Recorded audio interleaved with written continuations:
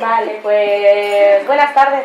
Eh, bienvenidas a la Vorágine, a un momento que, bueno, desde el colectivo necesitábamos como compartir hace tiempo y no habíamos visto la manera.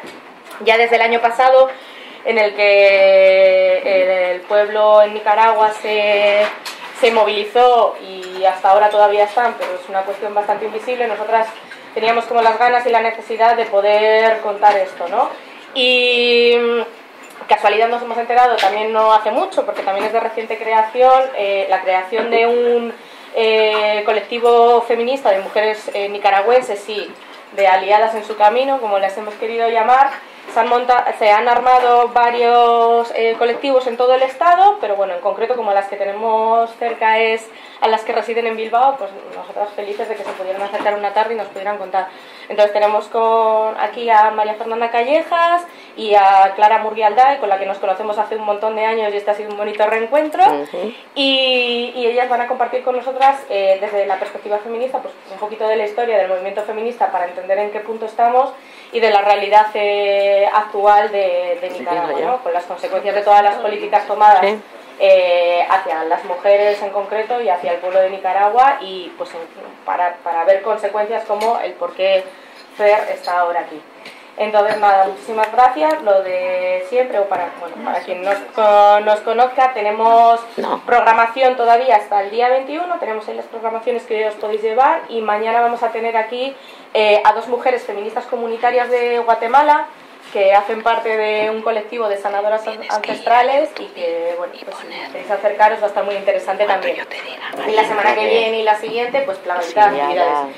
Y este es un espacio autogestionado que gracias al apoyo de la gente, a la venta de libros un poquito, pero al apoyo de la gente se, se sostiene, entonces allá a la entrada hay una cajita de colaboraciones también, pues por si, si queréis y podéis aportar. Y nada, muchísimas gracias y espero que al final pues podamos tener un espacio de conversación para, para bueno, preguntas o, o debate o lo que surja. Nada, muchísimas gracias. Bueno, pues buenas tardes. Voy a empezar yo porque Carmen ya ha puesto el orden de las intervenciones. Dice que primero hablemos un poco de la historia de las resistencias feministas en Nicaragua y luego ya vamos a aterrizar en la situación actual, lo que está ocurriendo y que están planteando también eh, la articulación feminista de Nicaragua, que es el espacio que aglutina a todo el movimiento, a todas las organizaciones feministas hoy en Nicaragua. Bueno, quiero empezar diciendo, dando una explicación de por qué una vasca como yo está aquí hablando el día de hoy. Bueno, tengo que decirlo primero que yo soy una vasca nicaragüense porque he pasado 20 años de mi vida en Centroamérica y concretamente en Nicaragua y en El Salvador.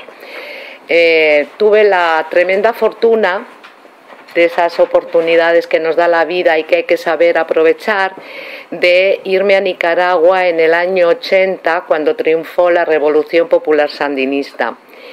Eh, con una mochila y una guitarra y muchísimos menos años de los que tengo ahora, por supuesto, agarré en un viaje de ida y no compré el billete de vuelta y me fui a Nicaragua.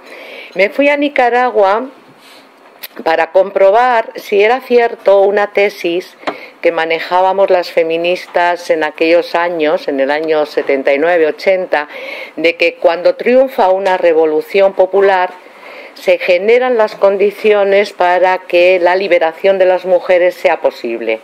¿Ya? Aquella vieja tesis de que eh, las revoluciones socialistas abren las puertas a la emancipación de las mujeres y como la revolución popular sandinista decían que era una revolución socialista, pues yo dije, pues voy a ver si es cierto que que, las cosas mejoran para las mujeres y viví toda la década de los 80 en Nicaragua hasta el año 92 que me fui a El Salvador.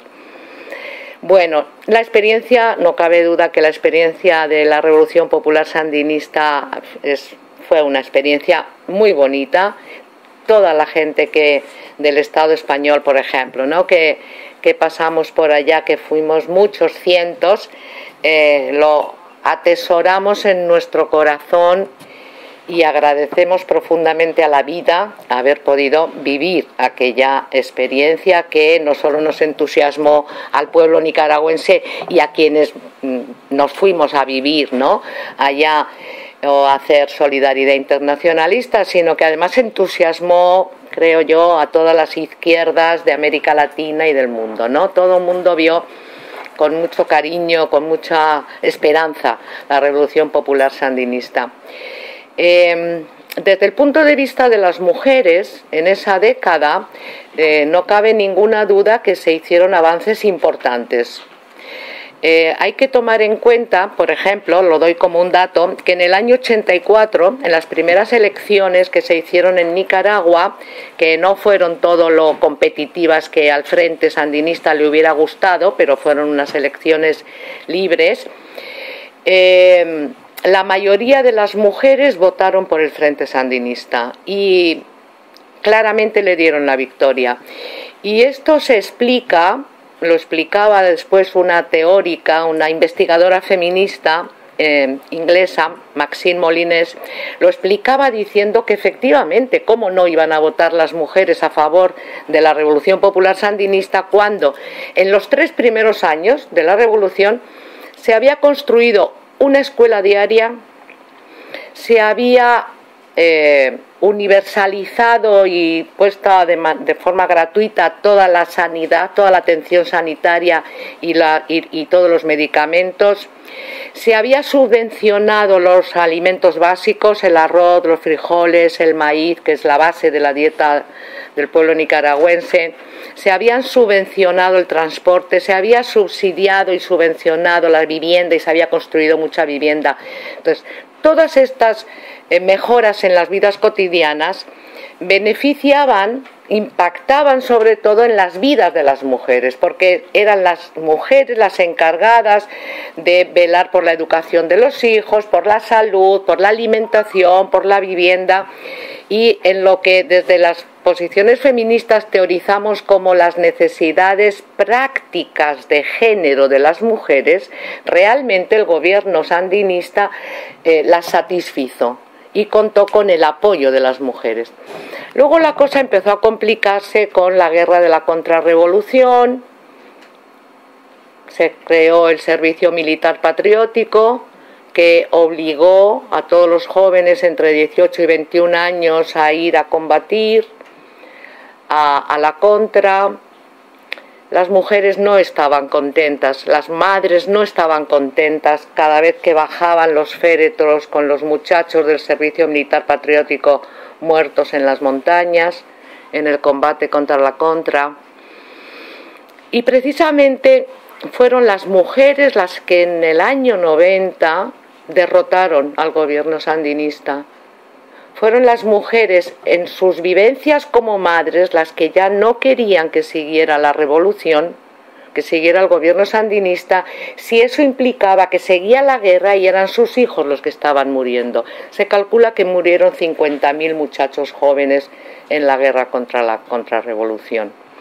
Entonces fueron las mujeres las que le dieron la espalda al Frente Sandinista y votaron en cambio a eh, Violeta Chamorro, una mujer que se presentó de blanco con la, con, la consigna de la paz. Ella iba a ser capaz de traer la paz a Nicaragua, puesto que Estados Unidos estaba favorable a que ella ganara y por lo tanto iba a seguir, iba a dejar de seguir eh, financiando la contra y se iba a terminar la guerra, como así ocurrió. Y además, Violeta Chamorro se presentó en su campaña electoral como una madre capaz de mantener a la familia unida, capaz de eh, volver. Yo creo que gritó bastante, ¿no? Ah, se oye bien. Entonces, las mujeres votaron masivamente a favor de Violeta Chamorro. Bien, cuando la derrota sandinista fue, fue, fue tremendo, fue tremendo, fue un shock nacional, nadie se lo esperaba, pero desde el punto de vista de la lucha de las mujeres, sin embargo, y contradictoriamente, supuso un salto importante, porque ahí pudimos desembarazarnos de la tutela del FSLN y construir un movimiento de mujeres y feministas realmente autónomo.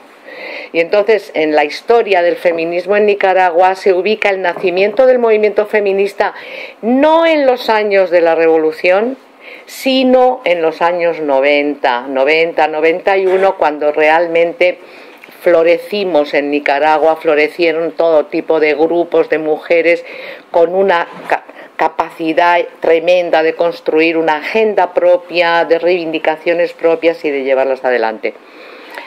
Claro, desafortunadamente entre el 90 y el 2016 ocurrieron 16 años de gobiernos liberales que no fueron precisamente favorables para las necesidades o para los intereses del pueblo de Nicaragua.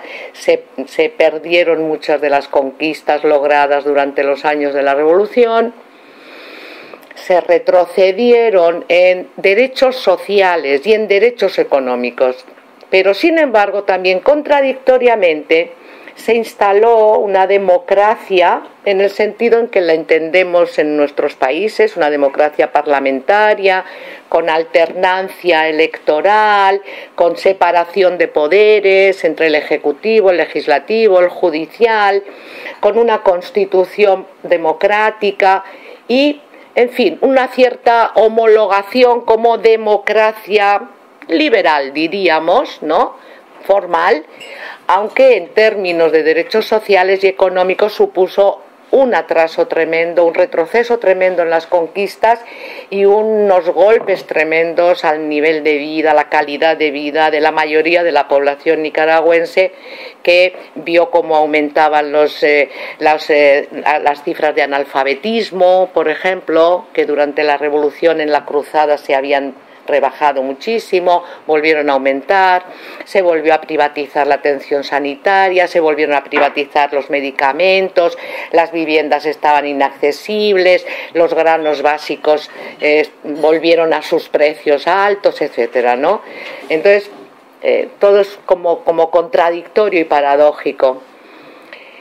En el año 98 ocurrió, visto desde, la perspectiva de las luchas de las mujeres ocurrió un, suceso muy importante que es el momento en el que Soy la América, una hija de Rosario Murillo y hijastra de Daniel Ortega, denunció públicamente que Daniel Ortega había abusado de ella desde los nueve años de edad hasta los 26.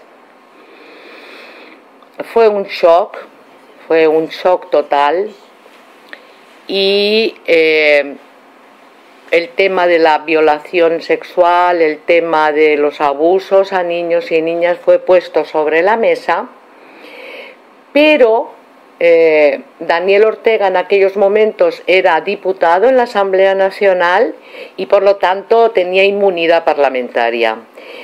Eh, nunca llegó a ser procesado porque hizo un pacto con los diputados del Partido Liberal de Alemán y consiguieron que no se le quitara la inmunidad parlamentaria, por lo tanto nunca fue procesado.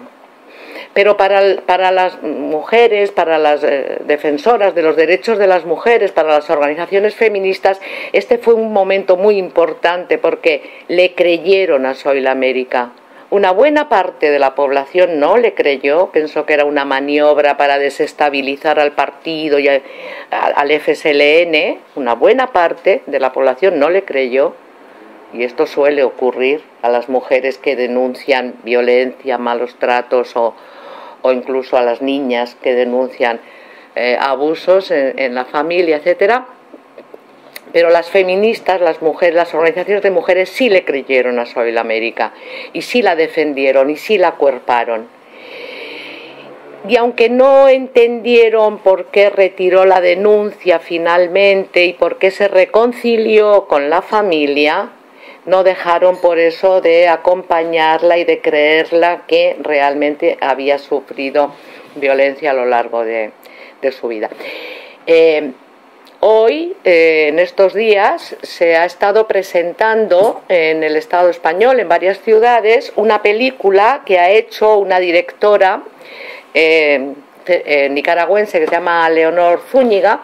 Ha entrevistado a Soy la América, que está exiliada en Costa Rica, porque nunca pudo volver a vivir en, Nicaragua, tuvo que exiliarse y entonces ha hecho un documental que se llama Exiliada que todavía no está en la red, entonces no lo podemos presentar, son 25 minutos, pero sí tenemos el tráiler y, y, para que os hagáis una, una idea, ¿no? De, el, el, documental es sobre el impacto en ella de, de lo que su padre le hizo. Que a mí me pasaron cosas muy feas con mi padrastro y mi mamá eh, no me creyó y la pregunta del por qué tu mamá no se creyó, que si fue que yo no grité muy duro. Procediendo a la acusación penal por los delitos de abuso deshonesto, violación, y acoso sexual. Este juicio implica muchos riesgos y estoy dispuesta a asumirlo. ¿Cuál es la cicatriz que más te duele? Creo que la pérdida de, de mi madre por ahora es lo más difícil. Rosario me decía que quería pedirle perdón al pueblo por tener una hija que había traicionado los principios del Frente Sandinista de Nación Nacional. Daniel Ortega era la revolución, porque él me decía, yo soy la revolución porque por lo tanto mi acusación se convertía en un acto de amenaza a la revolución.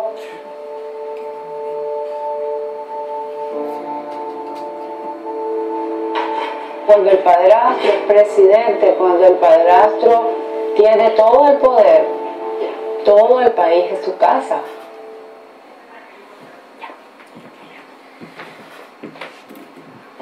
ahí que viene la otra.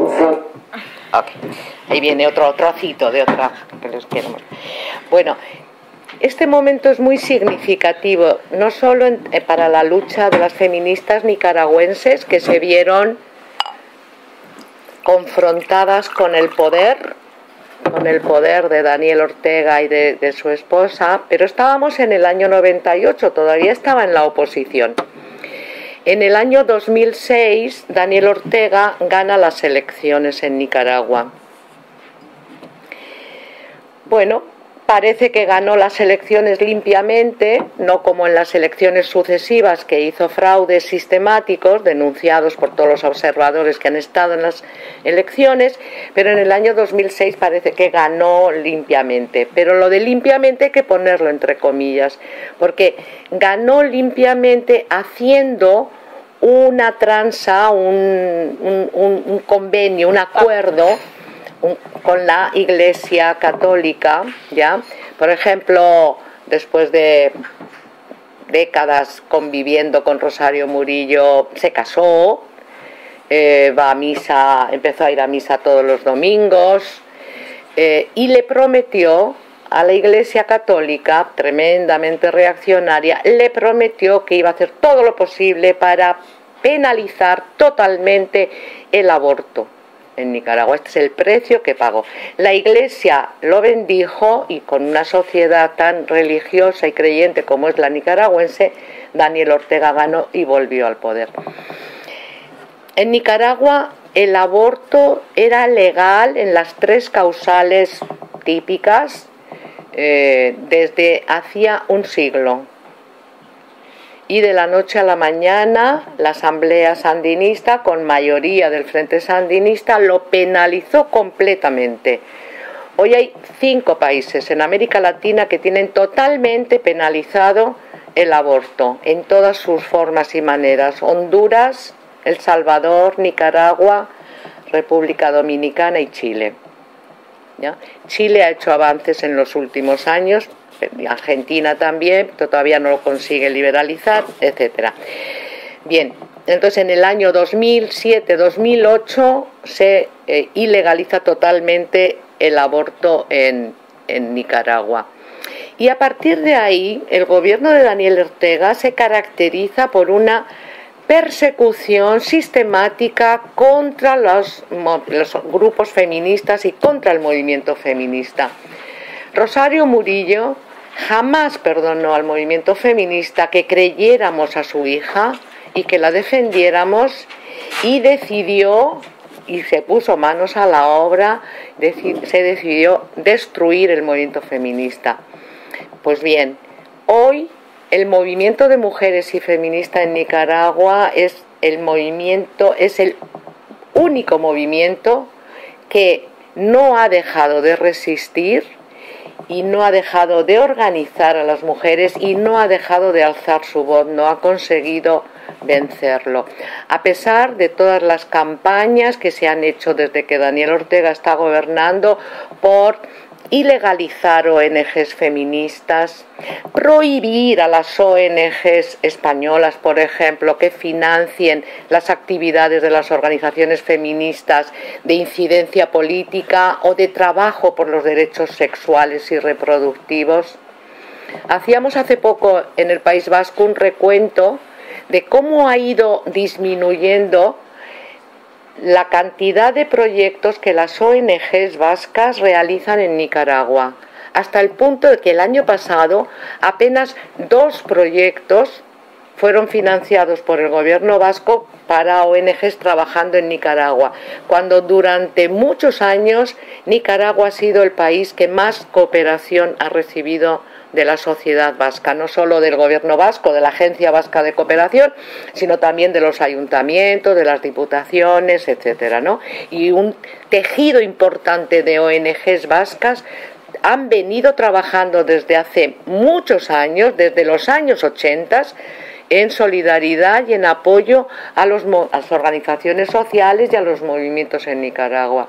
Y todo eso ha venido disminuyendo y ha afectado tremendamente a las organizaciones feministas y a las organizaciones de mujeres que están desfinanciadas, han tenido que cerrarse, están trabajando sin recibir pago y a pesar de todo resisten y sobreviven, ¿ya?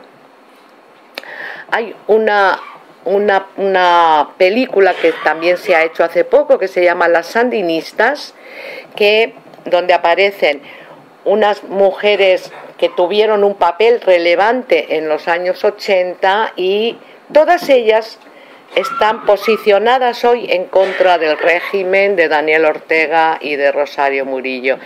Y en estos momentos se está haciendo un proceso muy interesante de revisión de cómo fue aquellos años 80, cuántas cosas que no nos gustaron nos callamos porque había que salvar la revolución.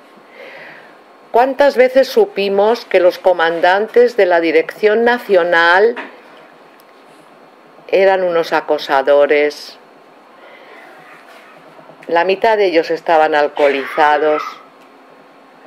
Se aparecían en las noches en las casas llamando, haciendo serenatas y, acosando a las mujeres testimonios de periodistas que antes de concederles una entrevista, por ejemplo, Tomás Borge les hacía pasar por la habitación de al lado donde había una cama y si se negaban no daba la entrevista. Todo eso lo vivimos, lo vimos, lo, lo vio mucha gente nicaragüense y lo vimos también los internacionalistas que estuvimos allá, pero consideramos que hablar sobre ello, denunciarlo, era poner en peligro a la revolución y nos callamos. Y hoy muchas mujeres feministas que vienen luchando desde los años 80 están replanteándose cuánto de lo que está ocurriendo hoy en Nicaragua tiene su matriz originaria en algunas de las cosas que ya ocurrían en los años 80, que vimos y nunca denunciamos. Yo no puedo olvidar que después de la derrota de los sandinistas en el año 90, el comandante Tomás Borge, que ya murió, nos convocó a lo que en aquel momento era un comité de español de solidaridad con Nicaragua, viviendo allí en Managua, pues a darnos explicaciones sobre la derrota, porque estábamos todo el mundo en shock. Y no puedo olvidar cómo nos dijo que por qué, nos reclamó que por qué si habíamos visto tantos fallos en la revolución no los habíamos hablado en su momento, no los habíamos denunciado en su momento. Y claro, le dijimos, pues porque ustedes nos dijeron que había que cuidar la revolución, que, que no había que atacar a los comandantes que cometían desmanes o que eran corruptos, porque eso ponía en cuestión la revolución. Bien, hoy ese mensaje sigue estando presente en Nicaragua. Entonces las voces de las feministas mm, se intentan acallar porque es poner en peligro esta etapa actual de la revolución. Y entonces como cuando hay abusos al interior de la familia, como lo mismo que ocurrió en la familia de Soy la América, hay que guardar silencio de lo que ocurre y eso abona a la impunidad y, al desastre que está ocurriendo hoy en Nicaragua. Entonces, les, pongo este tráiler de otra película que se ha hecho que se llama Las Sandinistas, que esta sí está en YouTube, creo, government that was doing whatever they wanted to do to you. It was not through good deeds that you would change anything. It was through action.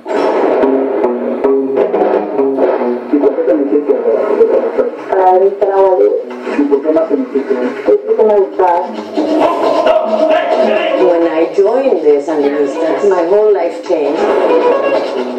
represión, había falta de libertades, pero también había una enorme pobreza. I jumped to the conclusion that things have to be changed. El ex marido, pero no se daba cuenta que, que tenía granadas, bombas de contacto, rifle 22, y yo le digo, quiero hablar con el jefe, dice y yo le digo, yo soy la jefa. Él dice, yo no me rindo ante una mujer. Everybody left our husbands. The more independent you become, the less you want to be told what to do. Victoria's Sandinista rebels marched into Nicaragua's capital city of Managua today. We had to start from scratch. Everything was possible. There was a lot being said that women were equal, but it was not. So we had to fight the revolution inside the revolution. Un salto negativo, un salto histórico. Desde ahí en adelante, contrario a lo que podía pensar el imperialismo, contrario a lo que podía pensar toda la fuerza. We were important during the war and then we were marginalized. How do you make change is the question for women. Sandinista rule is a communist reign of terror. They're building hospitals, they're building schools. One should understand why it is that the President of the United States does not want you to go down. Nadie cede poder por su propia voluntad. Así es.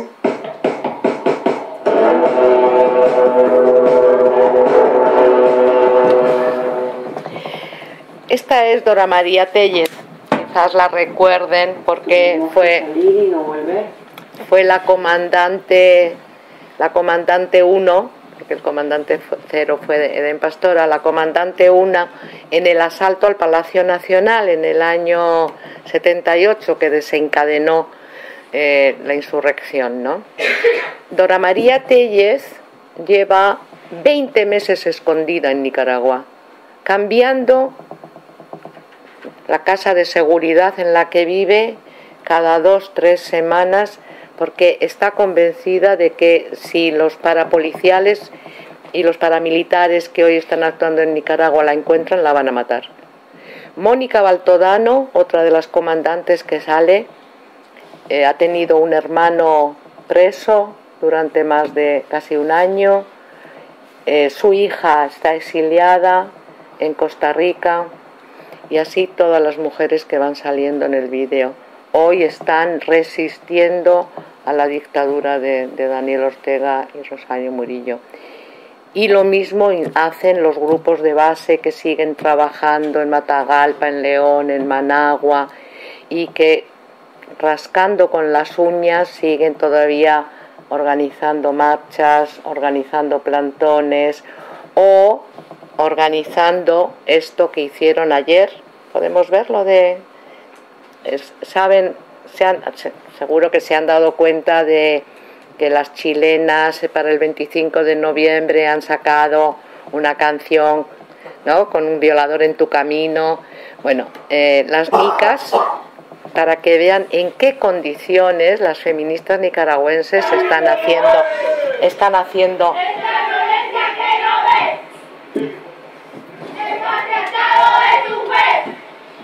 ven el ejército, ven los policías. Y nuestro castigo es la violencia que ella ve. El femicidio. Impunidad para el asesino. El secuestro. Es la violación.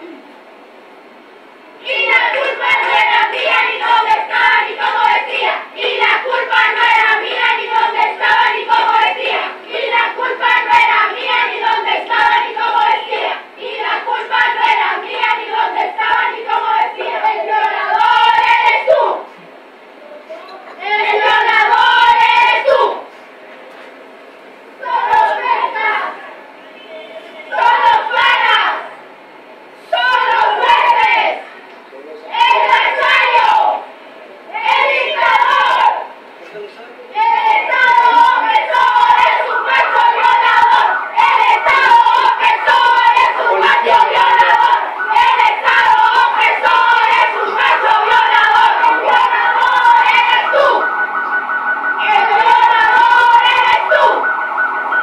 En Nicaragua nos asesinan a estudiantes y campesinas, a mujeres y a niñas, porque luchamos por justicia y libertad.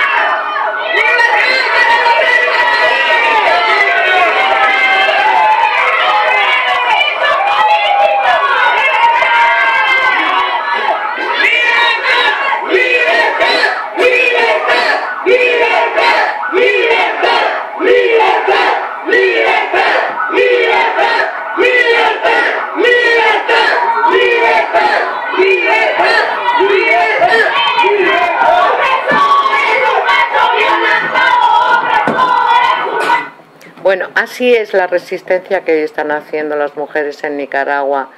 Tienen que meterse en un centro comercial para desde ahí gritarles a los policías, los policías las amenazan, tienen tres minutos para hacer algo, se tienen que dispersar, eh, hacen manifestaciones express, relámpago, siguen gritando, siguen resistiendo en unas condiciones durísimas de las que ahora les va a platicar Fernanda.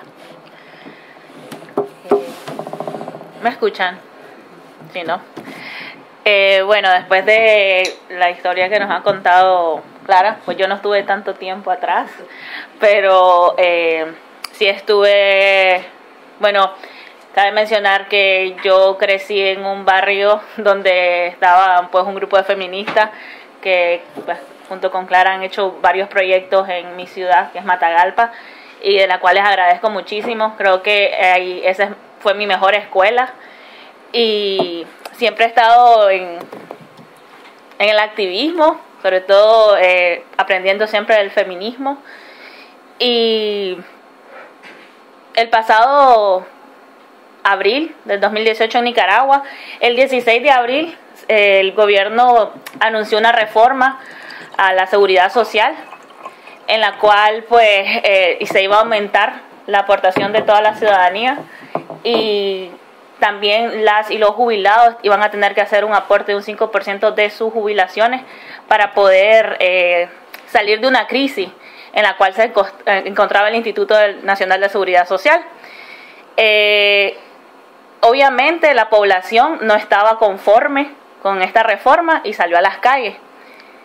En Nicaragua, históricamente, la juventud y sobre todo los y las estudiantes universitarias han apoyado al, a los pensionistas y a las pensionistas allá. Tuvimos un, una etapa de, repro, eh, de, represión también en años anteriores, eso ya era algo histórico, por lo que en la Universidad Central de eh, Universidad la UCA, la Universidad Centroamericana en Nicaragua, pues fue el primer plantón en donde sí llegó la policía eh, a estarse como lo vieron en el video. Sin embargo, la represión se dio por grupos de afines al gobierno, algo que se llama Juventud Sandinista, la cual pues como eran entre jóvenes, comenzaron a atacar a, los protestantes a las protestantes a, nivel de que tuvieron que meterse a la universidad y cerrar portones, pues porque estaban agrediendo con palos y con piedras.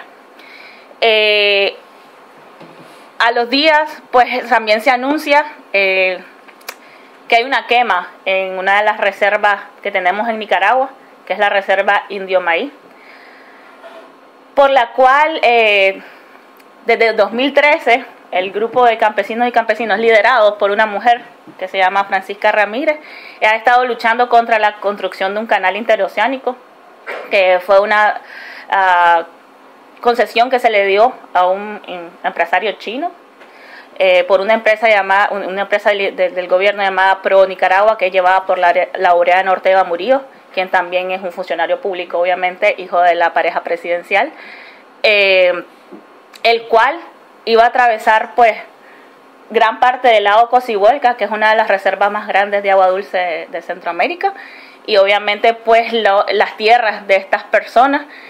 Y, y bueno, eso junto con lo de la seguridad social creó un estallido en el cual ya no fue solo la UCA, sino todas las universidades y la sociedad civil la que salió a las calles, especialmente después de, la primera, de las primeras muertes, que fueron el, el, 19 de abril.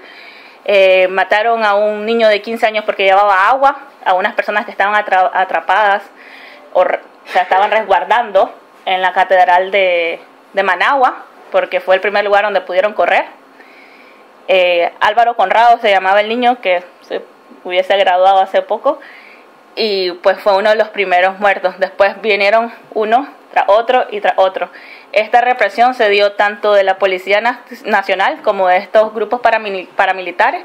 La juventud sandinista allá andaba con las piedras y los palos, pero también mirábamos a entonces hombres y encapuchados. Ya no sabíamos si era la juventud sandinista porque ya no andaban las camisetas, obviamente me imagino que se dieron cuenta de que lo estaban haciendo demasiado obvio, pero sí estaban encapuchados y resguardados por la policía. Eh, toda esta, esta represión mm, nadie se la esperaba. Creo de que el silencio del que les hablaba Clara era general. En todo el país estábamos como que, bueno, eh, peor es que estén otra vez los liberales, ¿no? Eh, y ese silencio y esas incomodidades que sentíamos fue como heredada de la revolución. Y la población mm, más pues que la, el, tema de la incidencia política no era algo, como dice Clara, que quisiera financiarse allá o que lo permitiera el gobierno, especialmente eh, donde estaba el Daniel Ortega, quien siempre ha gobernado ya sea de arriba o de abajo, eh, pues teníamos esa carencia de, de salir a protestar, de de luchar por tus derechos, al menos que estuvieses en un grupo, ah, específicamente el, grupo, los grupos feministas, que son los que más ah, hemos estado en las calles y reclamando derechos o haciendo campañas de sensibilización o, de pensamiento crítico. Y comenzamos a hacer marchas, marchas bastante grandes. Eh, recuerdo una bastante específica que, bueno, la primera que en la que yo estuve, en donde nos dispararon y tuve que, correr, fue en mi pueblo, Matagalpa. Personas que yo dije, bueno, estos nos vieron crecer, ya no somos amigos de la familia, no nos van a hacer nada, porque ¿por qué voy a tener miedo?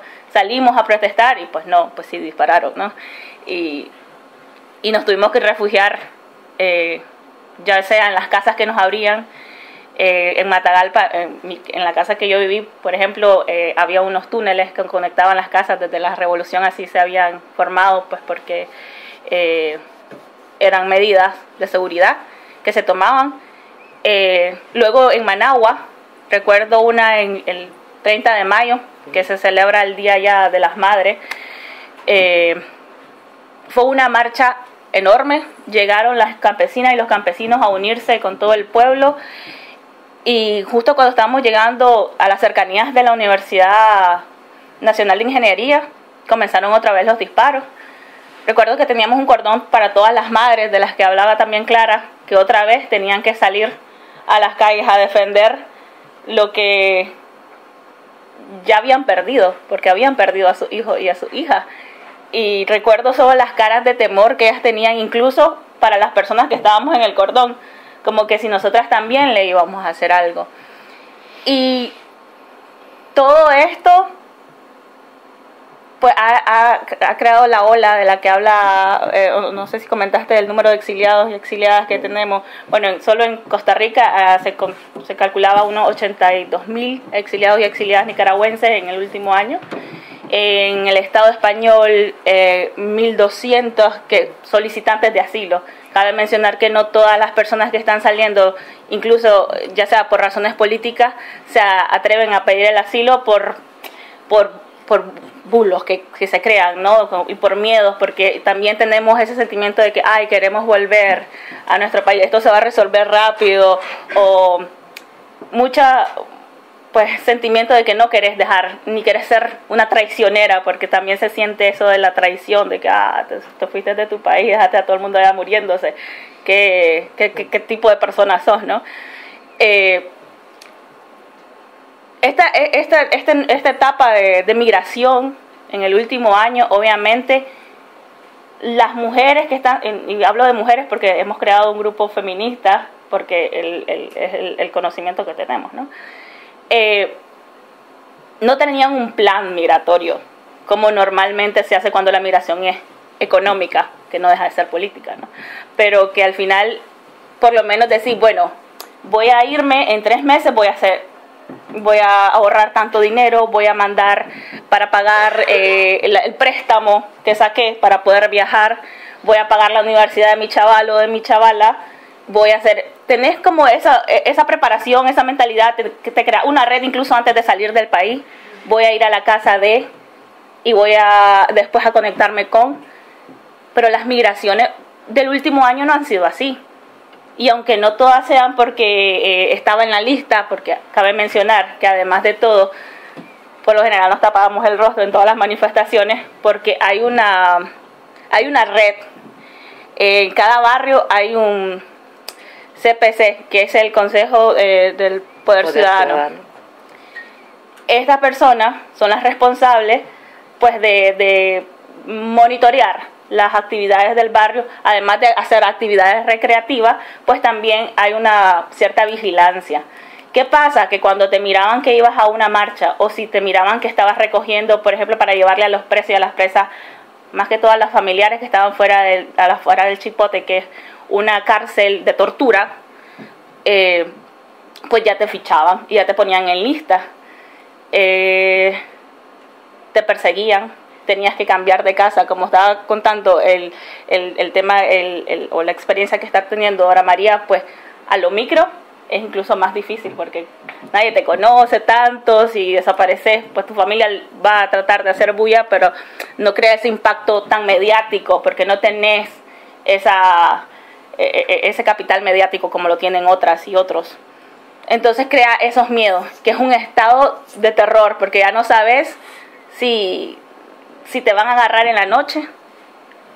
Y si te vas de la casa y dejas a tu madre, a tu padre, están con aquello de que estará bien y te están llamando a todo momento. Entonces es bastante complicado poder llevar una vida normal. Yo recuerdo cuando yo tenía que salir a trabajar, que tenía que eliminar mi Facebook, eliminar mi WhatsApp, borrar las fotos que tuviese y cambiarle los nombres a mis amigas que podrían contactarme para algo por si me agarraban el teléfono y ella me escribía algo comprometedor, pues que no supieran quién era. Y de esa manera nos protegíamos. Luego, al llegar al, al trabajo, era como volver a descargar Facebook, volver a descargar WhatsApp, porque al final del día era como el medio a través del cual nos comunicábamos. En la revolución nos contaban que era a, tra a través de, lo, de, lo, de, los mensajes que se los metían por el pan, por ejemplo. Me acuerdo que, que yo tenía un tío que era guerrillero y nos contaba cómo que en los canastos del pan llevaban los mensajes pues entonces las redes para nosotros fue bastante importante podernos comunicar, podernos decir, mira, están en tal lado parando, eh, habían retenes por todos lados, la, y los retenes pues no eran de la policía de tránsito, obviamente, eran paramilitares con ACAS Y Creo que no saben lo que son acas. acas, sí saben que son acas. ¿Sí? ¿no? Sí, es el arma. Claro que sí saben. arma de calibre. Bueno, pues con eso nos daban el espacio, ¿no? no eran policías de tránsito. Entonces era un, un, un estado de terror bien, bien jodido. Y la verdad es que no se podía vivir. Yo, yo en, en específico, unas amigas eh, cayeron presas. Estaban a las afueras del chipote sus familiares. Y yo me acuerdo que me mandaron un video vi- eh, donde estaban durmiendo en plástico y no tenían comida, no tenían nada. Entonces comencé a hacer una, un, un- un- un grupo de WhatsApp y a comenzar a recaudar cosas y me llevaron algunas cosas a mi casa. Pero enfrente había, a- el gobierno tenía unos proyectos para, bueno, proyectos, negocios de, de residenciales para vender casas baratas, ¿no? Obviamente, pues la mayoría de personas que com- comprábamos ahí o le trabajaban al gobierno podíamos pagar una prima pues moderada para poder conseguir una casita, ¿no? Claro, como todos eran los eh, trabajadores del Estado, ya, ya sabían quién era el CPC del barrio y qué es lo que estaba diciendo. Y nada, me pasaron un mensaje de que ya me habían visto de que estaba agarrando cosas y que la estaba llevando al chipote. y de ese momento fui a la casa de una, de, de una prima, en la capital era bastante más sencillo moverse que en mi pueblo, porque en el pueblo todo el mundo te conoce. Y el estar cambiando de sitio, el, pero al final trabaja en el mismo lugar, era complicado. Me acuerdo una chica que me escribió de que, mira, están paramilitares fuera de tu trabajo, pero por miedo, porque ya sabía lo que estaba haciendo, sin embargo, pues no entraron ese día al menos. Y la, la situación estaba muy fea, y sigue igual de fea. Yo, porque ya estoy acá, tengo un año de estar aquí, pero esa es la realidad que viven todos y todas las nicaragüenses actualmente. Hace poco, 10, eh, 16 activistas ah, decidieron apoyar a unas madres que estaban haciendo huelga de hambre para que liberaran a 130 poli- de preso- ah, prisioneros políticos que existen actualmente, porque los querían fuera para las navidades. Como dice Clara, ya somos bastante, bueno, hay una cultura bastante religiosa, por decirlo así, qué sé yo. Eh, y cuando llevaban agua para estas madres, porque eh, cabe mencionar que estaban metidas en una iglesia al final del día, son los únicos lugares en los que se pueden ir a refugiar, eh, les cortaron el, el- el agua, el servicio de agua, y les cortaron la energía. Si llevaron agua a estas chavalas, una de ellas ya había estado eh, como prisionera política, se llama Maya Coppens, de hecho estuvo con Amnistía Internacional en una gira, creo que hace un mes y medio, por todo el Estado español y otros lugares de Europa, y ahorita está otra vez presa por llevar agua a estas madres. Sea, en esa estamos. Sin embargo, el silencio que, se, que, que escucho, o bueno, que, se ha- que, que hemos sentido, es bastante feo, porque yo veo cómo se alza la voz, por, por ejemplo, en, las cosas que está pasando en Chile, en Ecuador, que yo también la alzo porque me duele, porque lo siento y porque lo entiendo, porque vengo de ahí. Pero si me pongo a comparar cifras, es que en Nicaragua llegamos a 300 muertos creo que en dos meses. Y nadie decía nada, y nadie dice nada. Y después no, nos echan la culpa a nosotras. Ah, es que ustedes no presionan, es que ustedes... Pero cuando hablamos, creo que entiendo ahora aún mejor lo que decía Soy la América, de que es difícil eh, hablar porque te juzgan, porque no te creen, incluso en- dentro de movimientos feministas, al menos en Euskal Herria, ¿no? que es donde he pasado, es complicado porque dicen, ay, es que creo de que vos estás siendo engañada por la ultraderecha. Ay, sí, yo por la derecha, qué guay. Bueno, pero esos silencios, aunque me dicen a veces, sí, es que yo sé, pero es que no crees de que es contraproducente hablar de un, eh, de un presidente de izquierda. Y yo, al final le digo, es como que estás vos por derechos humanos, estás vos por justicia social, porque quien está por justicia social y en realidad conoce y entiende de lo que habla cuando habla de Nicaragua, no creo que pueda defender a este hombre al final del día es un violador y es un dictador. Y de izquierda, al menos de lo que he podido entender, lo que es un ideal de izquierda, no tiene nada. Es un capitalista, es un machista y es un violador. Entonces, a ver, que, que si estoy entendiendo es que, que yo estoy totalmente confundida y no lo he comprendido, pero este hombre no merece que nadie lo defienda y tampoco merece que no que, le, que digan que ay no es que no podemos hablar de, de, un, de un presidente de izquierda porque entonces sería destruir a la familia la familia de izquierda no pues no está destruyendo la familia. Ese hombre es el que está destruyendo la familia. Ese hombre es el que puede hacer incluso peores cosas de las que ya han hecho o de las que ustedes o las personas creen que nosotras podemos hacer por hablar de él. Y para hablarles un poco pues de la participación de las feministas en esto, creo que ya lo hemos tomado. Eh, las feministas siguen resistiendo, eh, seguimos alzando nuestras voces. Actualmente nos hemos encontrado hace tres meses en Zaragoza fue lindo encontrarnos, pero es triste ver de toda el, el, activista que estamos en, en, el Estado español. Porque deberíamos de estar allá. Pero muchas tienen su, su familia aquí, o sea, si se vinieron con su familia, porque al final del día también necesitas proteger este territorio que es tu cuerpo, ¿no? Y hemos creado una red, una red de, de feministas por Nicaragua, Estamos en seis regiones autónomas. Estamos en Euskal Herria, en Zaragoza, en Cataluña, en Murcia, en, Madrid y en Galicia.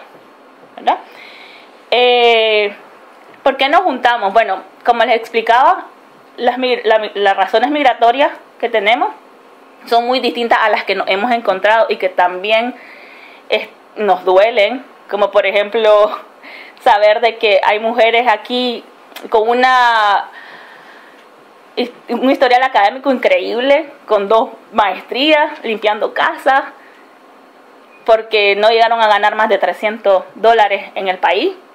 Y si te pones a pensar por qué no llegan a ganar más, es que la mayoría de, personas que ganan un salario para vivir como clase media en Jaranada es con transnacionales eh, del imperio, ¿no? De call centers, que son los centros de llamada estos que, que, le que, que son outsourcing para empresas de los Estados Unidos, en Nicaragua, en un gobierno de izquierda.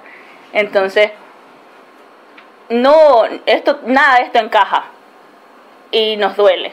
Entonces decidimos juntarnos acá porque también queremos ser las voces de esas mujeres, como las que estaban viendo acá, los los, parlantes que griten el grito de auxilio que están tirando todas las mujeres en Nicaragua, aquí en el Estado español, donde históricamente hemos tenido toda esa solidaridad que nos está doliendo no verla ahora. Entonces queremos ser esas portavoces, llevar ese mensaje. También queremos formar las alianzas, entender qué, es lo que ha estado pasando y de qué manera nosotras podemos reconstruir todo un país de alguna manera. Y obviamente también de cuidarnos, hacer una red de autocuido, porque es lo que una de las cosas más importantes, o el eje, uno, uno más importantes que surgió del encuentro. Hace poco una chavala, por ejemplo, que venía con su familia, su madre y sus dos hermanitas, lo primero que pidió fue como que necesito que me ayudes a conseguir ayuda psicológica. O sea, no pidió ropa, no pidió comida, no pidió un lugar donde quedarse, pidió ayuda psicológica y alguien para que le acompañara a hacer una denuncia. Entonces, claro, eh, nos consolidamos, nosotras como feministas por Nicaragua en Euskal Herria, después del encuentro, sin embargo, otras ya estaban desde antes conformadas y hemos compartido ese día estrategias, las cuales estamos trabajando para poder hacer un pues un mejor trabajo y también apoyar a todas estas mujeres que están exiliadas, que la en su mayoría son, son activistas de derechos humanos y de derechos que luchan por derechos de las mujeres y de la comunidad LGBTI, para pues que puedan o podamos de alguna manera sentirnos útiles, porque eh, también es, es chocante, ¿no? Cambiar tu realidad de la noche a la mañana. Antes era útil para la sociedad, ahora soy, no sé qué soy. Entonces, obviamente, eso también es parte del cuidado. Les voy a presentar un video para que vean un poco de lo que se vivió ese día en el encuentro en Zaragoza.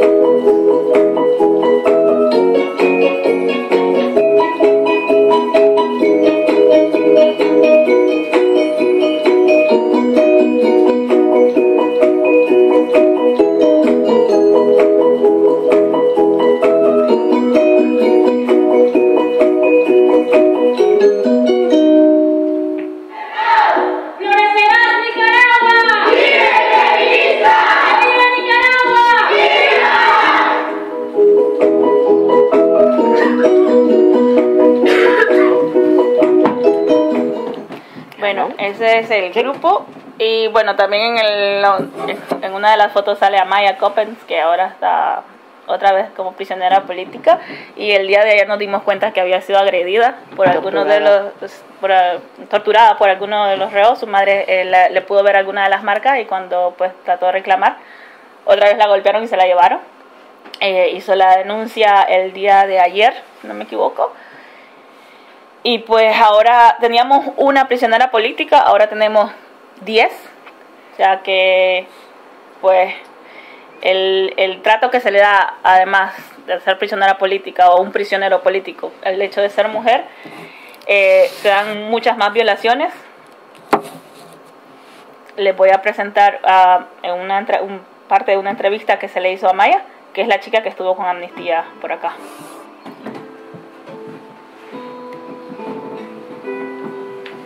todavía eh, sigo creyendo y más que nunca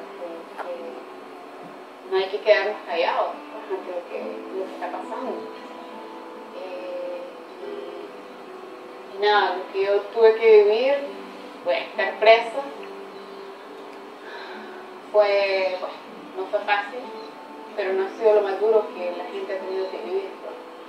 Eh, todavía no habido justicia para ninguno de los asesinados y situación en la que estamos viviendo todos los nicaragüenses no es una situación normal, no, no- no es posible pues simple- simplemente eh, quedarse sin decir nada. Entonces sí, definitivamente volvería a salir. Tengo que volver a caer presa, pues. Vamos a pasar detenidos en dos patrullas, nos tienen detenido a nosotros y también a otro carro. Acá veníamos de la iglesia donde dejamos agua y nos interceptaron y nos pararon.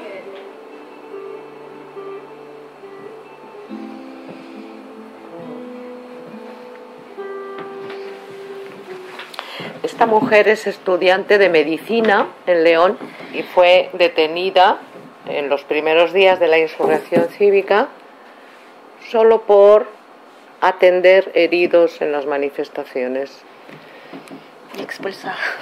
Y expulsada de la y universidad. expulsada de la universidad, por supuesto, y pasó un año presa, ¿no? Salió, o menos, salió en marzo, abril, ¿no? Cuando salieron. Sí, cuando salieron.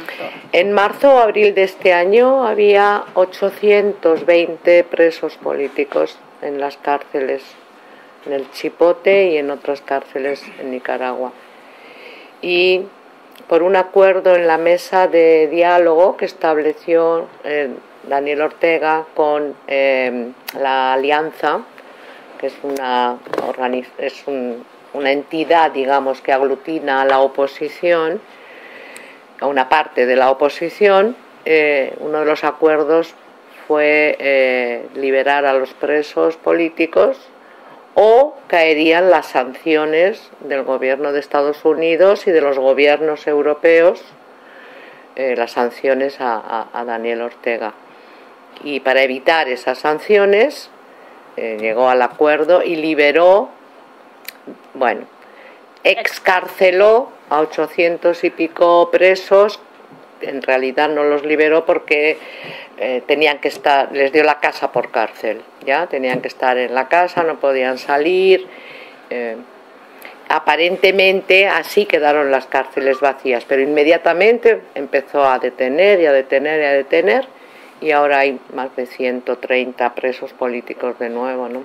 Muchos de ellos por segunda vez encarcelados con las excusas de delitos comunes, de tráfico de drogas y de lo más cosas impensables con cualquier excusa o no pagar multas de tráfico, vuelven a caer presos. ¿no? Eh, eh, sí, de y hecho, el diálogo entre la oposición y el gobierno está sí, cerrado desde mayo, junio de este año. En, en abril eh, salió la ley de antiterrorismo, en el cual, pues, obviamente atentar contra la paz de la ciudadanía, que sería, pues, am, hacer barricadas o hacer una protesta, pues podría caer como terrorismo de Estado y el financiamiento al terrorismo. El financiamiento al terrorismo era acusado a aquellas personas, pues como Maya, que apoyaban a los heridos, entonces eso es financiar el terrorismo, llevar víveres es financiar el terrorismo porque estaba llevándole víveres a personas que estaban atentando contra la seguridad. Eh, sin embargo, pues yo no sé manejar un arma, yo estaba ahí, entonces no entiendo cómo pueden decir que soy una terrorista o que alguna de las chavalas que estaba ahí, que yo mire que caminé al lado de ellas, eran terroristas cuando, pues no. De hecho, uno de los muertos, que, que co- con, con la tecnología ahora que hace un live, un en vivo, tenía una tiradora de, de piedras con esta en la mano y él pues con una bala en la cabeza. Entonces, ¿quiénes eran los terroristas?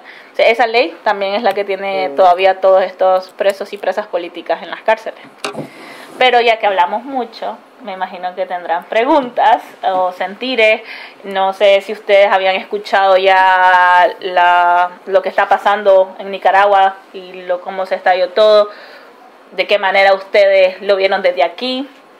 Eh, que si tienen algo que compartir o alguna pregunta. Bueno, quiero agradeceros, escucharos. Y ha sido. O sea, es que justo, o sea, eh, ha sido curioso, ¿no? Por decirlo de alguna manera, porque yo he conocido a la primera chica nicaragüense que yo he conocido, la he conocido ahora dos o tres meses.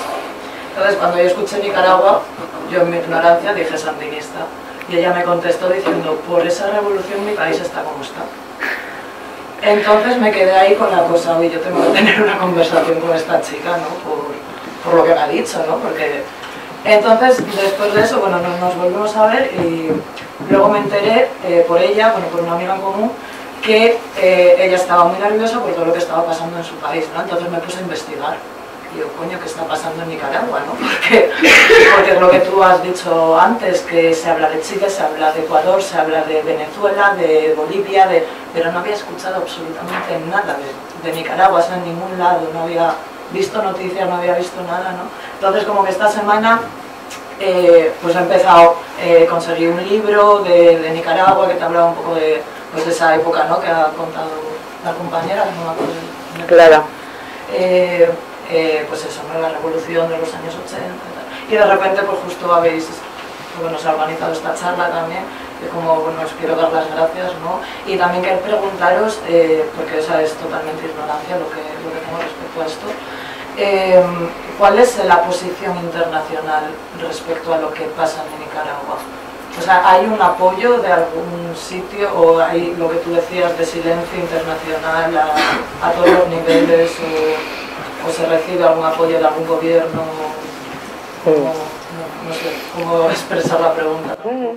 Mira, te voy a dar un par de datos. Yo no sé si sabéis eh, o tuvisteis noticia cuando eh, se, en, el, en el Parlamento Europeo se puso a discusión el tema de sancionar al gobierno de Nicaragua por violación de derechos humanos, porque a estas alturas tenemos ya tres informes de organizaciones internacionales de derechos humanos, incluida la Comisión de Derechos Humanos de Naciones Unidas, que preside Michelle Bachelet, tres informes donde deja claramente establecido la violación de derechos humanos cometida en Nicaragua en el último año e incluso califica de delito de lesa humanidad lo que ocurrió en Nicaragua en los primeros meses de la insurrección cívica del año pasado, porque hubo francotiradores disparando a la cabeza de la gente,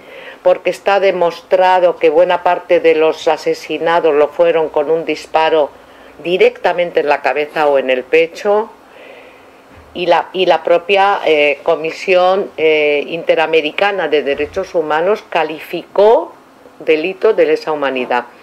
Los delitos de lesa humanidad se juzgan en el Tribunal Penal Internacional de La Haya. El problema es que Nicaragua, al igual que Estados Unidos y otros muchos países, no ha firmado el convenio del Tribunal Penal Internacional de La Haya, con lo cual no puede ser llevado Daniel Ortega a ese tribunal. Solo si el Consejo de Seguridad de Naciones Unidas se pusiera de acuerdo podría hacer una solicitud al Tribunal Penal de La Haya para que juzgara los delitos de lesa humanidad del gobierno de Daniel Ortega y otros Almeida. Pero el Consejo de Seguridad de Naciones Unidas no está por la labor porque Rusia y China vetan la posibilidad de que se juzgue en La Haya a Daniel Ortega. Bueno, este es un dato. El otro dato es que cuando se presentó en el Parlamento Europeo la resolución eh, de sanciones al gobierno de, al gobierno de Daniel Ortega, 322 eh, eurodiputados y diputadas votaron a favor 21 votaron en contra, básicamente todos los partidos comunistas presentes en, el Parlamento Europeo, y 32 se abstuvieron, entre ellos Izquierda Unida y Podemos. Bien, este es otro dato. ¿Ya? Un mes después se cerraba el Parlamento Europeo porque venían las elecciones y el 1 de noviembre acaba de instalarse el nuevo Parlamento Europeo con la nueva comisión, etcétera, etcétera. Entonces habrá que ver si ahora retoman de nuevo el tema de las sanciones al gobierno de Estados Unidos, ¿ya? al gobierno de, Daniel Ortega. Eh, otro dato, la OEA, la Organización de Estados Americanos, es un espacio que reúne a todos los gobiernos del continente americano, desde Canadá hasta Argentina, todos los países, 38 países. Permanentemente se han estado reuniendo para discutir la situación de Nicaragua. Eh, se han aplicado, se han, se han amenazado con sanciones, se ha amenazado a Nicaragua con aplicar un principio de la OEA que se llama el principio de la Carta Democrática. Es decir, aquellos países que no cumplen con los mínimos y elementales estándares de la democracia son expulsados de la OEA. Se requieren 24 votos de 36, de 38 para expulsar, para aplicarle a un país la Carta Democrática. Pues bien, hasta la fecha se han conseguido 21 votos. 21 países de América Latina están de acuerdo en expulsar a Nicaragua de la OEA. ¿Quiénes son los que no están de acuerdo? Cuba no está en la OEA, fue expulsada hace tiempo. Está Venezuela, está en contra. Hasta hace dos semanas Bolivia. Hasta hace cinco meses El Salvador, pero perdió el FMLN en las elecciones de enero en El Salvador y el presidente actual apoya las sanciones a Nicaragua. Y el resto son países caribeños, pequeños países caribeños que reciben petróleo de Venezuela y a cambio votan junto con Venezuela en la OEA, en Naciones Unidas y donde haga falta, ¿ya? Entonces, la OEA está a tres votos de tomar la resolución de aplicarle la Carta Democrática a Nicaragua y expulsarle de la OEA. ¿Qué importancia tiene ser expulsado de la OEA? Que automáticamente quedas fuera de todas las posibilidades de préstamos de todas las organizaciones financieras latinoamericanas. El banco, el BCE, el Banco Interamericano, el BIR, todas las, eh, agencias financieras que operan en el, en el continente pasan a tener prohibido hacer préstamos a Nicaragua. La situación económica en Nicaragua se ha deteriorado en el último año a un punto que no os podéis hacer ni idea. Han perdido su empleo más de medio millón de personas. El turismo ha caído a cero, a cero. Todos los hoteles y estaba empezando a remontar y a crecer en Nicaragua como paraíso turístico ha caído en picado el turismo, ha caído en picado el comercio, ha caído en picado la exportación, las exportaciones de productos agrícolas, de productos ganaderos. Este año va a tener un decrecimiento de cuatro puntos, o sea, va a decrecer 4% el PIB. Se se piensa que para el año próximo, si no se resuelve la situación política, el decrecimiento podría ser de 10 puntos, de un 10%, lo cual es un desastre. Nicaragua hoy es el segundo país más pobre de América Latina, detrás de Haití. Tiene una renta per cápita inferior a la que tenía durante la época de Somoza, antes del año 78. Hay ha crecido la pobreza, la extrema pobreza, la migración del campo a la ciudad, el exilio, la migración hacia afuera. No se construye nada, no se vende ni una casa, vas por Managua y todos son letreros, se vende, se vende, se vende, no se vende nada, la banca no da créditos, el sistema de seguridad social está en bancarrota, el sistema financiero está en bancarrota.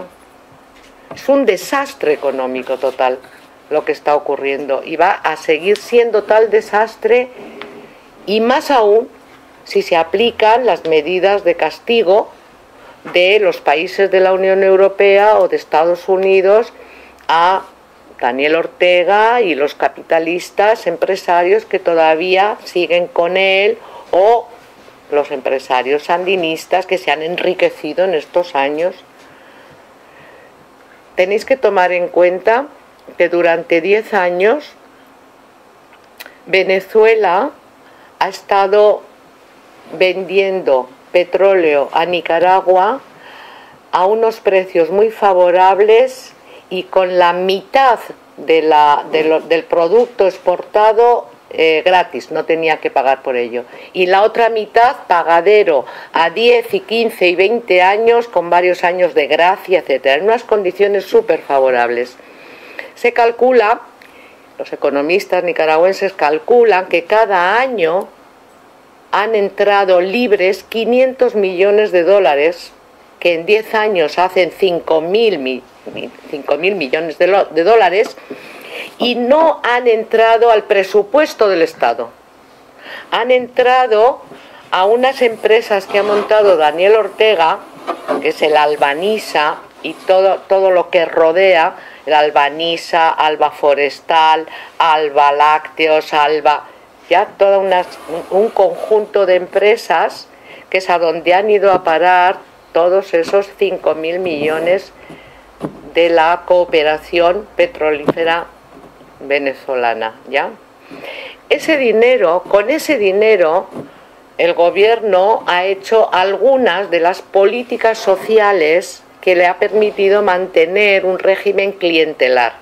Ha hecho programas de entrega de láminas de zinc para los tejados de las casas, ha hecho un programa llamado de hambre cero que consistía en entregar a las mujeres, jefas de familia, una vaca, una chancha, unas gallinas y un biodiesel. Ha hecho un programa llamado Usura Cero que ha descuajeringado todo el sistema crediticio nicaragüense porque ha entregado créditos a las comerciantes a fondo perdido sin tener que devolverlo y ha llamado además a no devolver los créditos entregados anteriormente, con lo cual ha destunturuntado el sistema crediticio, ¿ya? Una mínima parte de ese dinero ha sido dedicado a estos programas que hoy permiten decir que entre un 20 y un 25% de la población nicaragüense apoya al régimen de Ortega Murillo. Sí, las encuestas por lo menos más fiables de la Gallup eh, dicen que entre un 20 y un 25% sigue apoyando al gobierno. Pero son población muy, muy pobre que se ha visto favorecida por estos programas asistenciales clientelares. El resto se lo ha quedado la familia Ortega Murillo. Con ello ha comprado todos los canales de televisión que hay en Nicaragua. Solo uno o dos de los 10 o 12 quedan como independientes. Con ello ha comprado periódicos, ha comprado terrenos, ha comprado eh, hoteles, ha, en Managua, en la costa. Es decir, la familia Daniel Ortega que es la que gobierna hoy en Nicaragua porque el Frente Sandinista no existe como partido, como partido estructurado, la familia Ortega Murillo es la familia más rica hoy en Nicaragua y ha hecho su riqueza en los últimos 15 años a base de la cooperación venezolana. Llegó un punto en el que cuando la cooperación sueca, nórdica, alemana, empezó a plantearle a Daniel Ortega que no estaba bien los fraudes que estaba haciendo en las elecciones, el gobierno le dijo a la Unión Europea y a toda la cooperación europea, por mí como si se van a sus casas, porque con la cooperación venezolana estamos de maravilla acá. Y efectivamente, hoy en Nicaragua la única cooperación que queda es la cooperación oficial española, que está en riesgo porque el director de la Agencia Española de Cooperación Internacional la semana pasada quiso ir a hablar con la oposición en Nicaragua y le han impedido entrar, con lo cual España llamó la semana pasada a su embajadora en Nicaragua para que viniera a dar explicaciones y llamó también a reunión al embajador de Nicaragua en Madrid, o sea que está en riesgo la cooperación española y yo estuve la última vez en marzo en Nicaragua y me decían que solamente la cooperación japonesa se mantiene en el país.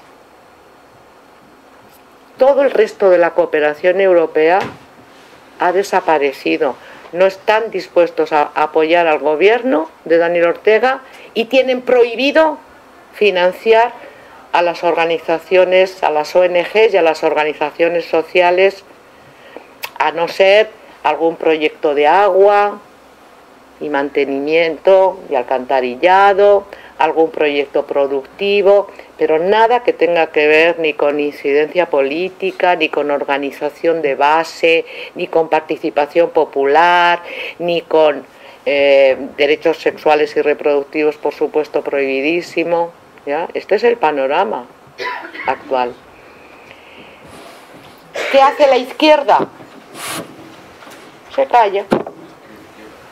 Se calla.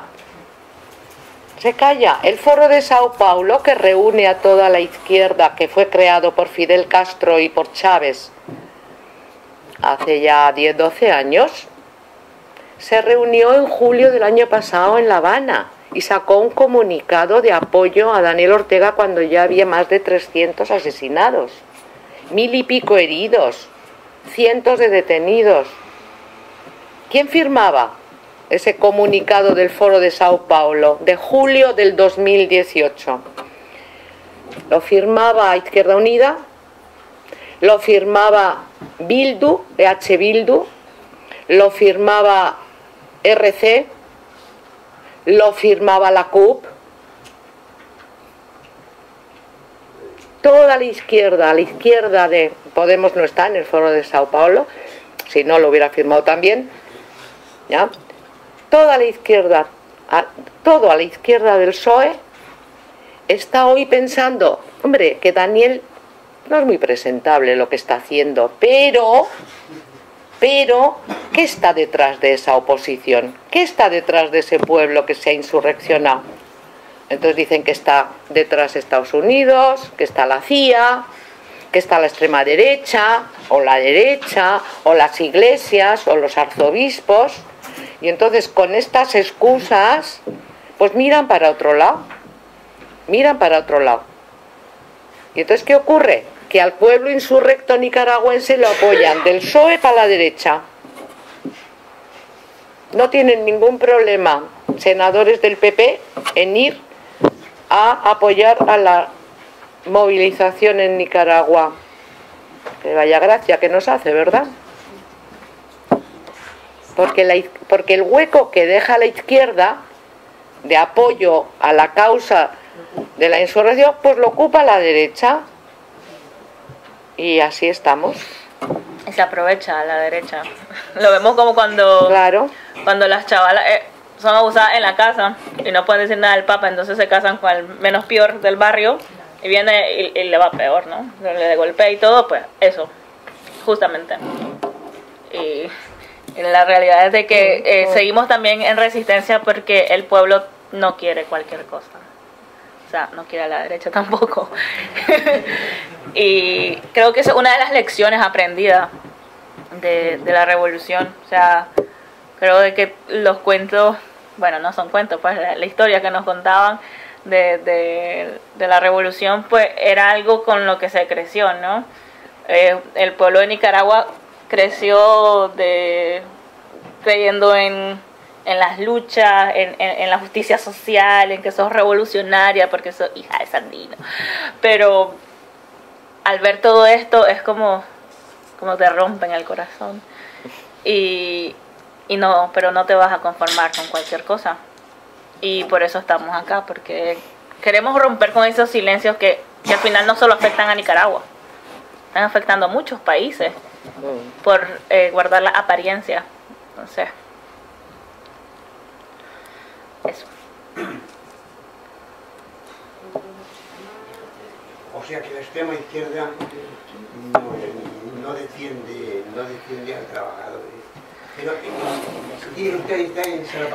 no, no, no, yo no, yo, yo, yo no sacaría esa conclusión de lo que acabo de decir. Yo lo que digo es que los partidos de la izquierda, denominada izquierda transformadora, radical, a la izquierda del Partido Socialista, llámese como se le llame, eh, no está apoyando hoy la lucha del pueblo de Nicaragua contra el régimen dictatorial de Daniel Ortega y de Rosario Murillo, porque porque esa lucha es una lucha compleja eh, frente a un partido que, que se dice que es de izquierdas pero no lo es, porque sus hechos demuestran que no lo son, y porque es un pueblo complejo y diverso, porque ahí están los arzobispos también y la Iglesia Católica enfrentada a Daniel Ortega, y a las feministas no nos hace particularmente gracia caminar junto con la Iglesia porque luego tenemos que pelear por el derecho al aborto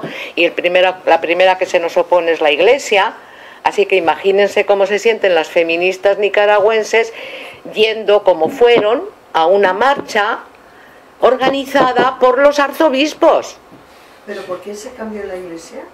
¿Por qué han pasado de apoyar a Ortega y de, y de, y de colaborar con él para, Porque le acusan a Daniel Ortega y a Rosario Murillo de estar haciendo una utilización de los mensajes cristianos muy oportunistas. Yo no sé si en alguno de los videos, no sé si vieron que aparece un gran cartel, Managua está, bueno, todo el país está, está lleno de grandes carteles con la imagen de Daniel Ortega y de Rosario Murillo y de un eslogan que dice Nicaragua cristiana, socialista y solidaria. Entonces, los arzobispos y los obispos le acusan a Daniel Ortega de haberse apropiado del concepto de, cristiana para su gobierno y de, y de, hacer una utilización politiquera y oportunista de los mensajes cristianos, ¿ya? Y entonces, Monseñor Obando, que en los años 80 era enemigo feroz de la revolución, se pasó al bando de Daniel y Daniel lo nombró, Daniel Ortega lo nombró eh, responsable de una comisión de reconciliación y los arzobispos se le fueron poniendo en contra, en contra, en contra a medida que veían cómo se apropiaba Daniel Ortega y Rosario Murillo de los signos, de los símbolos, de los rituales cristianos, pero sus políticas no tenían nada de cristianas. Cabe mencionar también de que al final del día eh, la conferencia episcopal de Nicaragua tuvo que ceder porque algunos hombres religiosos decidieron apoyar la insurrección de, de abril, no todos la apoyaban. De hecho, en León, debido a que se cerraron las puertas por decisión del cardenal de ahí, no, del obispo de ahí, mm. cardenal es el, lo siento, yo no soy católica. El, el, cardenal creo que es el más grande, ¿no? el, el, obispo de una de las ciudades decidió cerrar la, la, iglesia y murió uno de los chiquillos estos que le andan pasando el vino. Y... Monaguillo se dice, se llama. Eso. pues pasan el vino.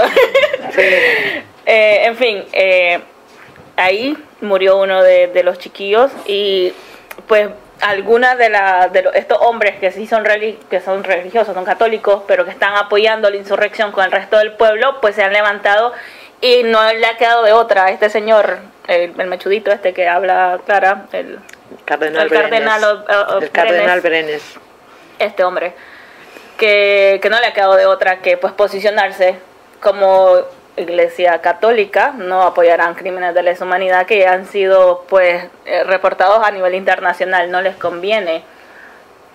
Anteriormente, a ver, que es otra institución, otro partido político, o, no sé, e, esto es la iglesia, ¿no? Y pues tienen que al principio unirse a este hombre para que juntos podrían ganar más poder.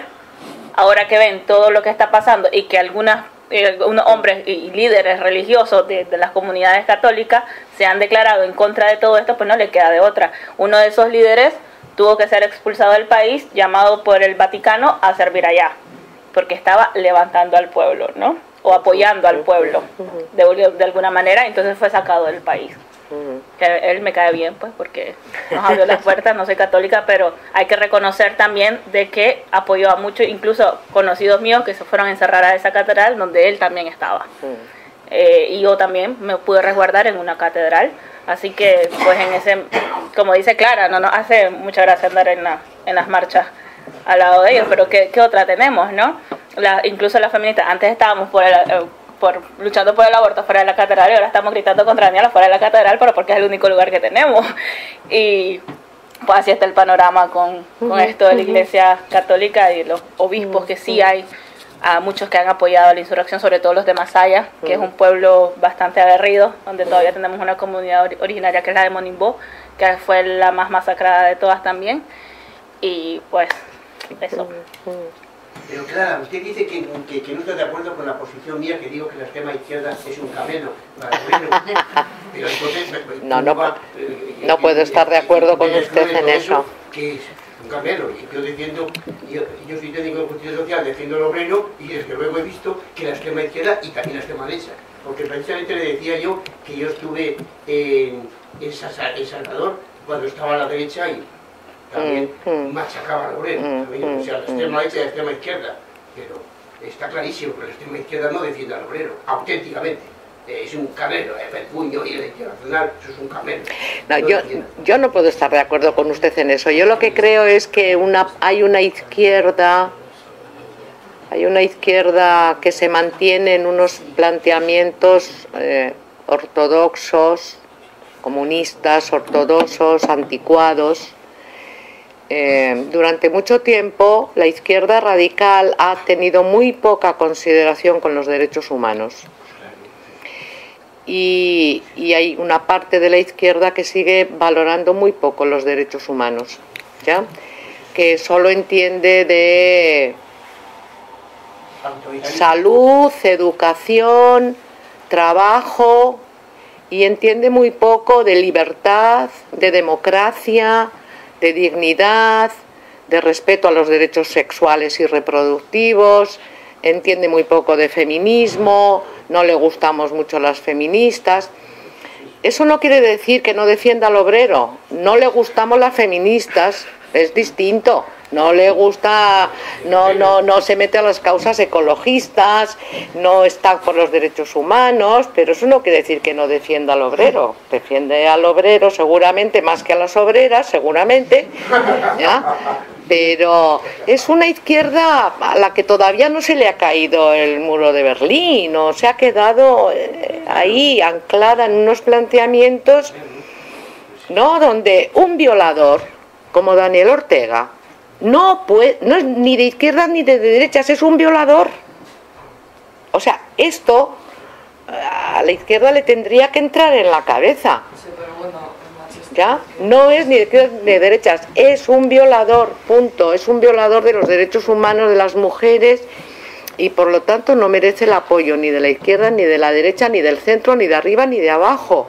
¿Ya? Pero eso todavía una cierta parte de la izquierda, esta que llamamos radical, transformadora, revolucionaria, etcétera, pues no lo termina de apreciar. Eso, eso al final es bueno, un poco lo que pasaba que contabais con la revolución, ¿no? De que había que callar para que la revolución siguiese adelante. Esto es como eso, ¿no? Es el partido, la bandera o doctrina y si hay que callarse cosas, pues hay que callarse sus cosas para que el sistema vaya para adelante. Bueno, me gustaría preguntaros cuál sería la manera que vosotras veis sobre todo de manera general en Latinoamérica, para afrontar el problema de la lucha feminista y la igualdad en una sociedad tan conservadora. Porque nosotros nos hemos visto ya en, en ese dilema en México, Perú y en Colombia. Ahora volvemos para allá, a Perú, y después nos vamos a Ecuador y no sabemos confrontarlo. Es muy complicado discernir hasta qué punto meterte, hasta qué punto decir o actuar o cómo intervenir en una cultura que muchas veces está muy influenciada por una iglesia muy cerrada y otras veces por comunidades rurales Mm. muy pequeñas. Este es un debate complicado, pero en estos momentos en que ayer se instaló un congreso en el Estado español con 52 diputados y diputadas de Vox que han tenido 3 millones y medio de votantes, yo creo que tenemos que tener cuidado a la hora de hablar de otras sociedades muy machistas, muy religiosas, muy atrasadas. Yo creo que tenemos que tentarnos un poco la ropa y ser humildes y hablar con un poco de cuidado. Yo de todos modos creo que no podemos, al margen de esta anécdota que no es sin importancia en la que estamos ahora, yo creo que no tenemos que caer en la trampa de hacer comparaciones entre colectivos sociales distintos. Cuando yo voy a mi pueblo, un pueblito de 60 casas de Navarra, y convivo todo el mes de agosto con mis tías y mis tíos y mis primas y mis primos, y les veo a mis primas cocinando y a mis primos sentándose en la mesa esperando que sus hermanas les sirvan la mesa, de la misma manera que hicieron sus madres, sus abuelas, de verdad que no siento que esté viviendo precisamente en una sociedad supermoderna y superigualitaria, ¿vale? Y me parece el mismo comportamiento que observo en los 20 años que he vivido en Centroamérica, pues en, en muchas comunidades rurales, en sectores eh, rurales o urbano marginales o de escasos recursos, ya, ya. Cuando yo comparo los comportamientos de las estudiantes universitarias en Nicaragua, en El Salvador, en Guatemala, en Colombia, en Chile, en donde sea, con las estudiantes universitarias en la Universidad del País Vasco, te prometo que no veo mucha diferencia. Ni en términos de conciencia sobre la subordinación, sobre la desigualdad de género, sobre la opresión, sobre la igualdad, las ganas de comerse a los machirulos que tienen por compañeros en la, en la clase, ¿sabes? O sea que, ojo, comparemos colectivos sociales similares y haremos un poco más justicia y seremos menos víctimas de prejuicios con respecto a las sociedades supuestamente atrasadas de América Latina. América Latina no está atrasada, las sociedades latinoamericanas no están atrasadas, están, algunas de ellas están muy desigualmente distribuida la riqueza, que es distinto. Tienen la desigualdad más grande del mundo en términos de distribución de la riqueza. Entonces te encuentras gente muy, muy, muy, muy, muy, muy, muy, muy, muy rica y mucha gente muy, muy, muy, muy pobre. Pero fíjate que nos llegan a tocar una década más de crisis como la que acabamos de pasar en el Estado español y terminamos igual, ¿eh? Porque también la crisis económica aquí, el principal efecto que ha tenido ha sido agrandar la desigualdad. La gente que vivía bien y ganaba bien gana mejor y la gente y tenemos un tercio de la población española que no llega al salario mínimo interprofesional. Y eso no era así hace 10 años.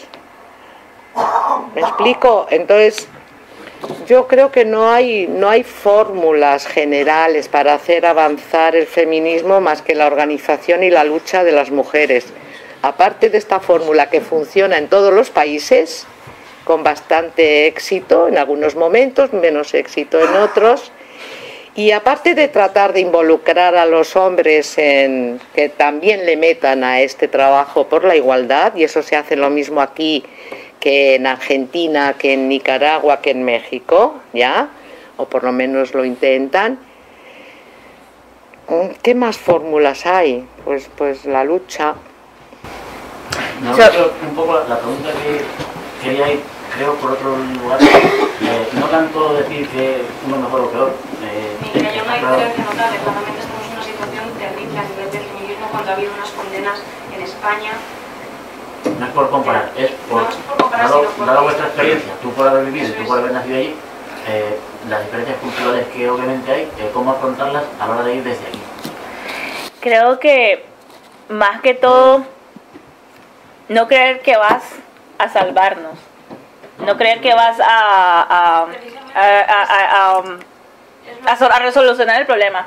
Lo más importante es la escucha, saber escuchar a las personas que estamos allá, porque somos quienes conocemos nuestro territorio y nuestras necesidades. ¿Qué ha pasado?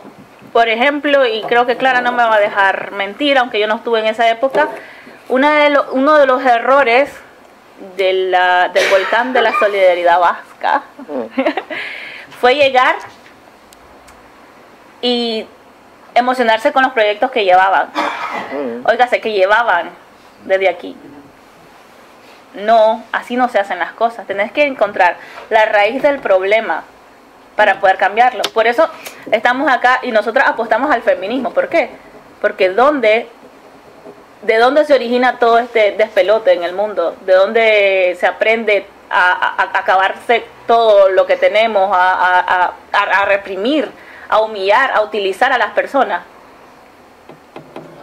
En la familia. ¿Y ¿Y de dónde nace? Pues Sí, también se, todas estas opresiones vienen de nuestros cuerpos como mujeres. Nosotras estamos aprendiendo. Yo he trabajado con mujeres en comunidades de mi, de, mi ciudad y son mujeres increíblemente capaces y que saben cuál es el problema. Lo que no tienen son los recursos para poder hacer los cambios que quieren hacer. Entonces, claro, cuando llegas con vos, con tus recursos, con tus proyectos y tus ideas en la cabeza, vas a hacer lo que ya crees que haces pero eso no lo resuelve la mujer, los problemas que ella ya tiene. Entonces, primero es que si vos vas, no vayas con un proyecto ya hecho en tu cabeza. Anda primero a conocer el, terreno, a entender la lucha que querés, luchar, porque es la única forma de ganarla, porque si no entendés muy, muy poco vale ni tu pasaje, ni, ni tu tiempo, ni todos los estudios que puedas hacer en la academia. Tienes que estar en el terreno y para eso las necesitas a ellas. Eso es lo que verdaderamente importa, que vos te vayas a sentar a entender qué es lo que vas a hacer y dónde lo vas a hacer, con qué mujeres estás trabajando. Ellas ya son capaces. Nosotros no necesitamos empoderarnos. Ninguna mujer necesita empoderarse. Lo que necesita es quitarse las cadenas que la atan para no poder usar todo ese poder. Y esas cadenas son todas las opresiones que tienen en sus territorios, en sus realidades, que son muy distintas en todos los países. Incluso acá, yo también venía con prejuicios, además que, bueno, salí como salí, pero también tenía muchos prejuicios y yo me estoy, me, lo estoy trabajando porque, ah, las blancas me van a ayudar, estas europeas deben de saber más que yo y me, ven, me vengo y, y me siento de tú a tú. Y la verdad es que muchas veces me dicen que, oye, ¿cómo le decís eso a ella? Pues porque, porque quiero decírselo, porque no me gusta, pero así crecí y crecí así gracias a muchos proyectos de mujeres que ya estaban en el terreno, que, que eh, trabajaban, mujeres catalanas, por ejemplo, que trabajaban con mujeres nicaragüenses y que comenzaron a entender el entorno en donde se estaban relacionando y que aún viven ahí. Bueno, cabe mencionar que a dos de ellas las mandaron para su casa el, el, año pasado y eran pensionistas, pero que, que, pueden ir solo como turistas ahora, ¿no? Eh, después de vivir 30 años ahí. Y, y, creo que eso es lo más importante, el trabajo que vos vas a hacer, que lo hagas de corazón, no para decir yo estuve en Nicaragua, soy internacionalista, estuve en Perú, eh, tengo que hacer la maestría, voy a llenar el cuaderno, no, tiene que nacerte. O sea, tenés que cambiar la idea de qué es ser revolucionario y qué es ser revolucionario, porque revolucionario no es decir, ah, yo sí, yo estoy con la izquierda, soy del Che, no, no, no. Ser revolucionaria es entender la lucha de la persona o del espacio en donde estás, creértelo, adueñarte de él, ponerte en los zapatos de esa gente y entonces vas a poder luchar con eso, si no vas a estorbar nada más. Entonces creo que eso es lo que yo te diría que tendrías que hacer, ir a sentarte, entender el terreno, entender las circunstancias y después ir a actuar. Eso. Si os parece, vamos terminando porque vosotros además tenéis que Eso es. marchar y nos agradecemos muchísimo que hayáis estado, esa visión. Gracias por venir y por escuchar y por uh, tener interés. Muchas gracias.